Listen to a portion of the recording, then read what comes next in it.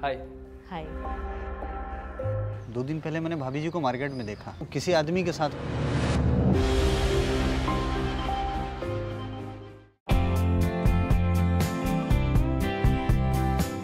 Bollywood actress Kangana Ranaut की film Manikarnika का हाल ही में टीजर रिलीज़ हो गया है। टीजर में महानायक अमिताभ बच्चन की दमदार आवाज़ और कंगना की ज़बरदस्त एक्टिंग देखने को मिल रही है।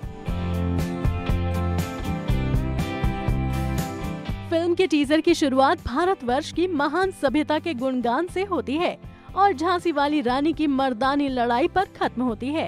कंगना टीजर में ज़बरदस्त एक्शन करते हुए दिख रही हैं।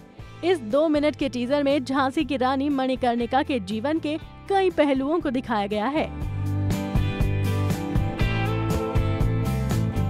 योद्धा बनी कंगना का इंटेंस लुक दर्शकों को काफ़ी इम्प्रेस कर रहा है। एक्शन सीन्स करते हुए कंगना चोटिल भी हो गई थी। उनके माथे पर पंद्रह टांके लगे थे। वहीं इस टीजर को देखकर उनकी मेहनत का साफ़ अंदाज़ा लगाया जा सकता है। फ़िल्म मणिकर्णिका 25 जनवरी 2019 को रिलीज़ होगी। इसे क्रिश ने डायरेक्ट किया है। वहीं फ़िल्म की कहानी के वी विजेंद्र प्रसाद ने लिखी है।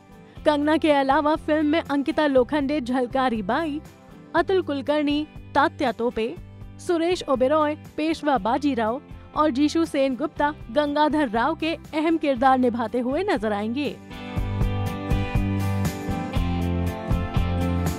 अभी वीडियो को लाइक करें, शेयर करें और अभी चैनल को सब्सक्राइब करें।